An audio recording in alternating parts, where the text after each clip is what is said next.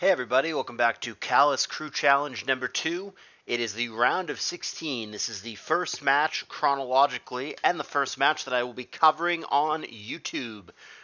It's a big one. This is a strong pairing. It is the Sprinkles fan club against Pax On Stax, and there's obviously a bit of variance with how the tiers break, but I would say that this is a particularly important matchup for Johnny and the Sprinkles fan club to win. Uh, with the way that the tiers broke, it's going to be Sayuze against ABR in Oros, which, I mean, anything could happen in Mons with good players, first of all. But you've got to think that ABR has a pretty big edge in that matchup. And then the other matchup is TJ against Lax in SV, which is maybe a little closer than the Oros matchup, but you've still got to think that Lax probably has the edge there. Uh, so given that Pax On Stax seemingly has the advantage in both of the other matchups to varying degrees, uh, it becomes crucially important that Johnny wins here for his team. This is the matchup that they probably have the best chance of winning. Uh, Johnny also did not win in the previous round, so not only does he want to win because this matchup, as it played out and with the way the tiers were distributed, uh, Johnny not only wants to win for his team because it's a very important match, but also for himself because he doesn't want to be 0-2 and letting down his teammates. So probably some pressure on him. Tony maybe doesn't feel the same amount of pressure. Uh, Tony did win his round one match against H-Clout, which you guys may have also seen on the channel. But this match has big implications for the series, in my opinion. I think it would be hard pressed, though obviously not impossible, should Johnny lose here for Sprinkles Fan Club to defeat Pax On Stax in this matchup. But let's not get ahead of ourselves. Here it is. It's a DPP best of three in the round of 16 in CALLOUS Crew Challenge 2. Johnny's on the bottom, Tony's on the top. They both have a Zapdos. Hippowdon. In my experience with DPP, which is far from expert, obviously, uh, usually Hippowdon is a lead poke rather than in the back, so it's interesting that it's in the back in this case.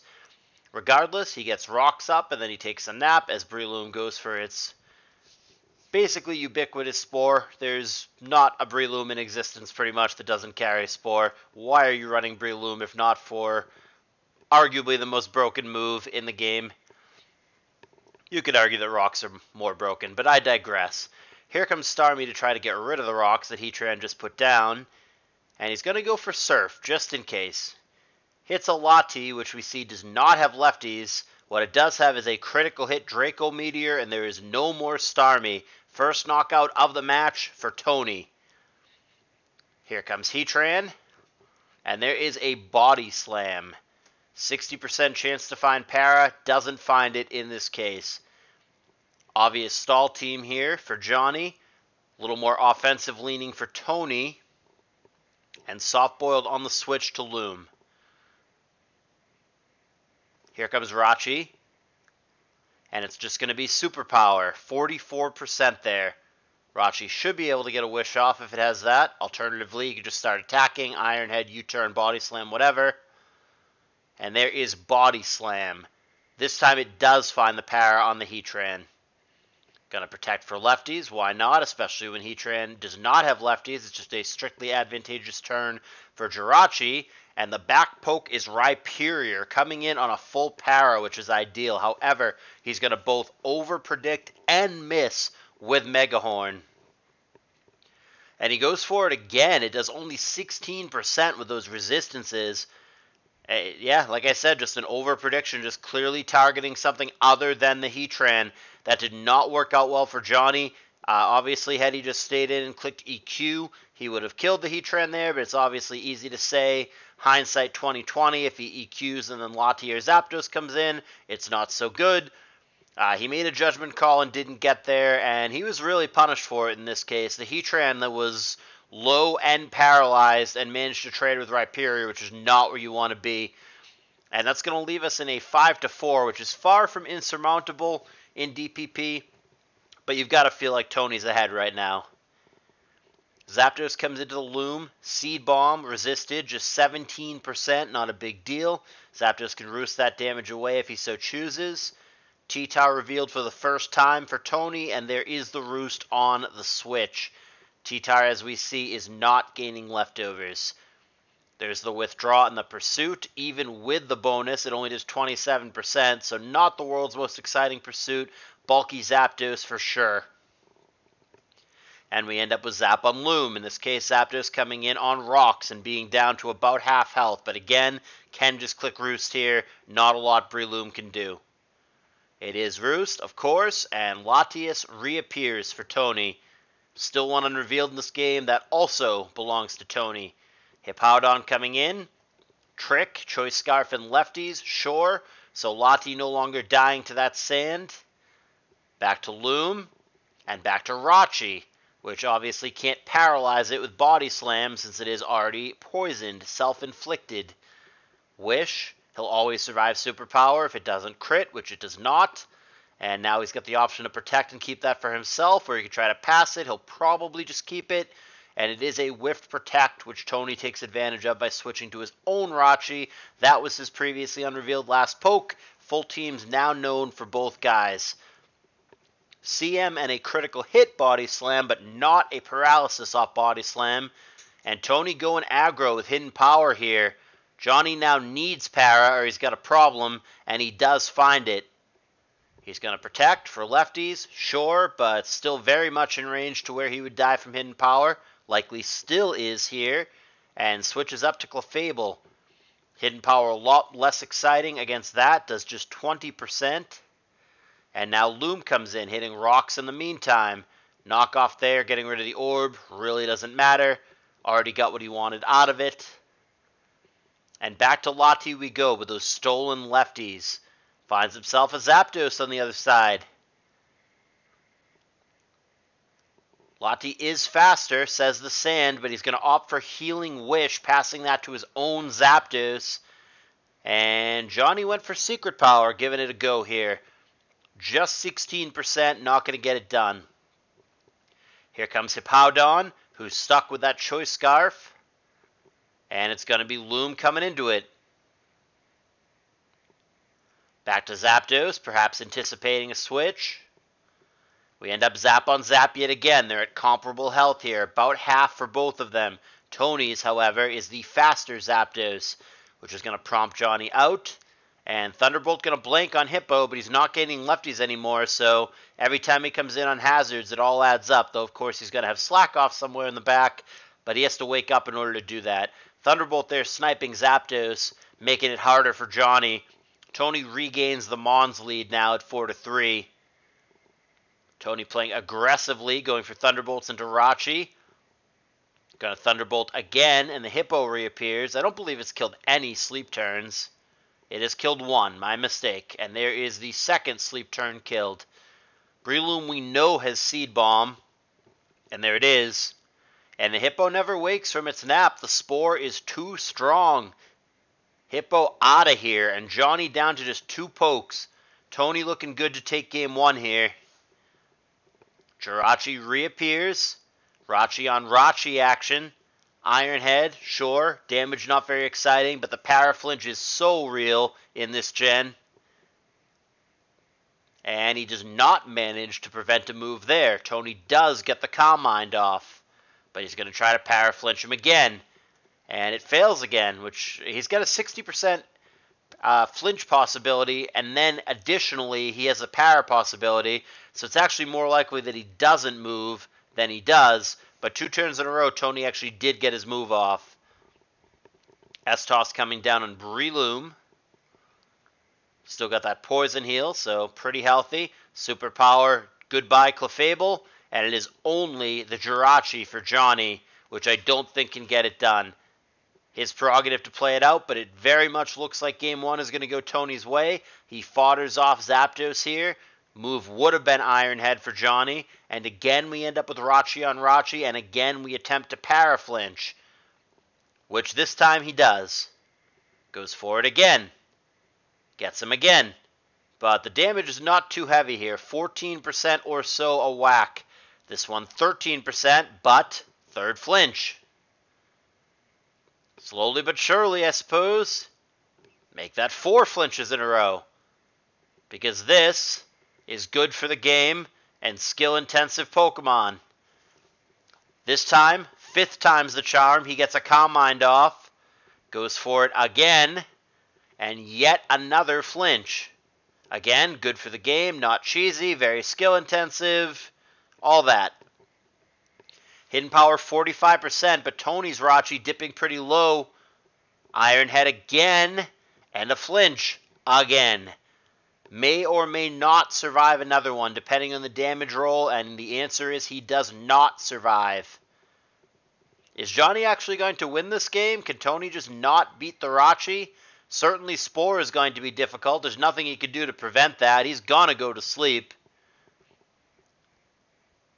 Nope, he's gonna just flinch him.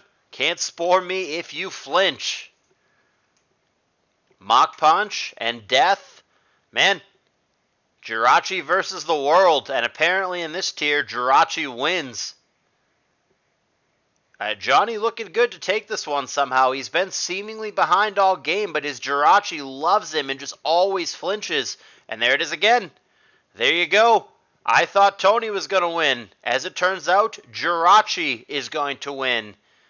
It comes all the way back for Johnny after a bazillion flinches. I don't know why Ironhead Rachi isn't banned in DPP, but it is busted and it wins the game. Johnny, the expected winner according to our predictions, does indeed take game one. See if Tony can get two in a row off to get Pax On Stax off to the lead in this series, or if Johnny can close the deal and get the Sprinkles fan club out to the advantage in the first match of this series. Here is game two, but before we begin that, let me just remind you to please hit the like button if you enjoy the tournament. Hit the subscribe button if you enjoy my content generally speaking. And more importantly, please consider donating to the tour. We got a fantastic donation earlier today. $200 was donated by an anonymous user, a very generous anonymous user. And that makes a massive difference in the prize pool. It motivates me and gets me enthused to do these narrations. It motivates the players. It's really, really good for the tour. You don't have to donate $200, but if you have any amount, $5, $10, whatever you could spare, it all goes to the players, all goes to the prize pool. Please consider donating. You can do that by joining the Discord server and simply clicking the donation link. It's fast, it's easy, and I don't keep anything. So thank you for considering doing that. Let's move on to game two. Johnny's on the bottom again. Tony's on the top again different leads. They both had Zap last time. This time they've got a Roserade and a Flygon, and it's going to be a turn one U-turn and Sleep Powder respectively. Lati being the thing, getting hit with Sleep Powder, but it does have Sleep Talk, and he finds Draco Meteor in his sleep, which does 40% to Rachi, who we see does have lefties. And a little bit of switching later, Roserade is dead to a Fire Punch. Advantage Tony in the early going as they both establish rocks. Lati reappears, and that gets immediately ice punched, will not survive another. It doesn't have lefties either. But Tony willing to stay in anyway. And looks like it was a good call for Johnny to get out of the way because he once again finds Draco Meteor in his sleep. And Jirachi, who's had to absorb two of those, is kind of low for Johnny. He also doesn't find the Body Slam Para on the switch, therefore has to get out of the way.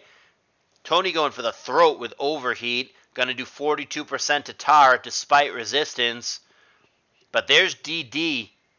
So Johnny now trying to turn the tides and go aggro. Crunch is going to kill Lati. 5 to 5 game. Flygon reappears. That was the lead poke for Tony. Possible U-turn here? Nope. Straight for EQ.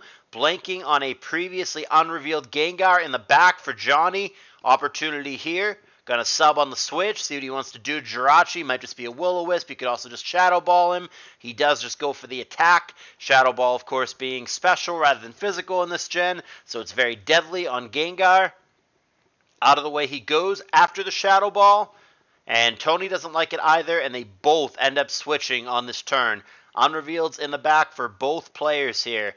Titar coming in, and that's going to absorb the sleep but it's going to immediately lum that away. We know it's a DD tar. Mach Punch obviously going to get him there, 4x weak. So Tony retakes the lead, 5 to 4. Still a hidden poke in the back for both guys. Gengar going to make a move here. Tony can't touch it. Pain Split going to get him up a little bit, but crucially, Jirachi now in range to always die from Shadow Ball. However, Johnny is going to over predict and go for Focus Blast, and he's going to miss. He will lose the Gengar for that over prediction, and now Tony even further in the lead at 5 to 3. Body Slam going to paralyze Pert. Ice Punch 9% is whatever. He was hoping for a switch or a freeze and got neither. He's going to Ice Punch again and still do poor damage and still not freeze anything. They're going back and forth. Finally, he does EQ, and Tony gives up the Rachi. But Tony's still clearly in command of this game. Loom here representing Seed Bomb, which would obviously kill the Pert. And it's going to be Latias eating the Seed Bomb instead, 29%. Rachi comes into Rocks. And Tony, on top of that, knows it's coming, gets the Heatran in at the same time. And Johnny desperate, he's gonna try to flinch him down, but the flinch does not come, and Rachi melted by flamethrower. Leaves us with just two pokes for Johnny against four from Tony, including an unrevealed in the back. Full para at a bad time for Swampert. Second flamethrower takes him out. Lati, the only thing standing for Johnny. Draco Meteor, for lack of anything better to do, would have needed a crit to get that kill. One flamethrower later, with the help of the sand, and Tony has evened us up at a game a pop. Game three is on the way, and like I said, I think it is crucial, more so for Johnny, that he gets this win, or it is going to be quite difficult for the Sprinkles fan club to defeat Pax On Stax. Tony looking to give his teammates that cushion. Johnny in what many might view as a must win game. And like I said, he is the favorite according to our predictions which is another thing you could do if you join the Discord server. You could predict who you think is going to win all these matches. Let's get to game three. It's cute that they have the same avatar, by the way. I think that's adorable. Go ahead and switch those sides for continuity. Johnny on the bottom, Tony on the top. Azelf, immediate boom. Fuck T-Wave, fuck Rocks, just gonna boom. It would have been a body slam for Tony there, but didn't have a target. Rocks coming down now via the Heatran and Blissey establishes rocks as well. Pursued on the way out, physical in this gen, 26%, and now Zapdos comes in on rocks. Heatran coming back in for Johnny, and he's going to be discharged on. Terrible thing to be on the bad end of. Heatran does not have lefties of note, and he's going to go for Lava Plume, 19% and no burn as the Starmie comes in for Tony. Looks like a stall team for Tony, and an aggressive team for Johnny. So a contrast of styles in this one. Pursuit on Starmie on the way out, physical and super effective, is going to do a whole lot, 65%. However, Machamp, faster than Scizor here, is going to sub up and take the superpower. Now D-Punch is going to do a fuck ton since his defense is down, but he does get another superpower off despite confusion. Nevertheless, Scizor very low and now out of the way as Kuhn comes in. Payback 32%, decent chunk. And Zapdos comes in for Tony. Surf rather than Ice Beam there. Still with Stab, a decent chunk at 39%. Kuhn, of course, has to get out of the way. And we end up with Champ on Heatran as Tony again out predicts and gets a step ahead of Johnny. Johnny feels the best course of action at this point is to boom. He takes the Machamp with him, and we've got ourselves a 5 to 4 lead for Tony, and both players have an unrevealed in the back. Rotom 37% T-Bolt there had a chance to crit or para full para to put the Zapdos in real danger. Neither one comes, and a couple of roosts later, he is healthy as a lamb, 95%. Discharge coming down. This time it does get the added effect para on Lati, which was the previously unrevealed last poke for Johnny. Wow. But through para, Draco Meteor crit kills Bliss. I'm surprised that even with a crit that that killed, that was a ton. 74%. I mean, it's got specs, but still, that is huge, huge damage. But fair enough. Blissey is down to a very timely like I said, through the para, through the imperfect accuracy, a very timely crit for John. He makes this game a lot closer than it was a minute ago. I think I still like Tony's position, but it is much, much closer now. And Johnny going to play a trick with his Rotom, stealing lefties. And Starmie's down. Tony down to two pokes. Johnny now with the lead in this crucial game three. But Tony seems to be a big Breloom fan, bringing it once again. Seed Bomb and Hidden Power. But it's going to be Tony faster thanks to the paralysis, so Rotom is down. Now Kuhn is going to have to survive Seed Bomb. Or just be faster, that works. Ice Beam takes him down. So this is going to come down to a turn or two to get a crit or a freeze. He also has to avoid power, which he does. So he's got a one turn window here. Crit or freeze for the win. And he gets neither. This one is going to be very close, the closest of the three, but it is going to be Tony taking it down. Like I said, Johnny had a two turn window there with the Ice Beam to crit or freeze. Had to avoid getting paralyzed by discharge, of course, in the meantime, but he did not manage to find the crit or the freeze. Tony hangs on barely with his Zapdos, and it's going to be Tony getting the match win, two games to one. Johnny now 0-2 as an individual in this tournament, and crucially, that is the 1-0 series lead for Pax On Stax with two matches that on paper are favorable for them to go. So this would be one hell of a comeback if the Sprinkles fan club were to pull it off and stay in this tournament. I have no clue how that plays out. This is being narrated the same day that it was played, so those matches have yet to be played in real time, but I'm very much looking forward to them. In the meantime, if you've enjoyed the content, like I said, please do hit that like button, and I will see you guys in the next video.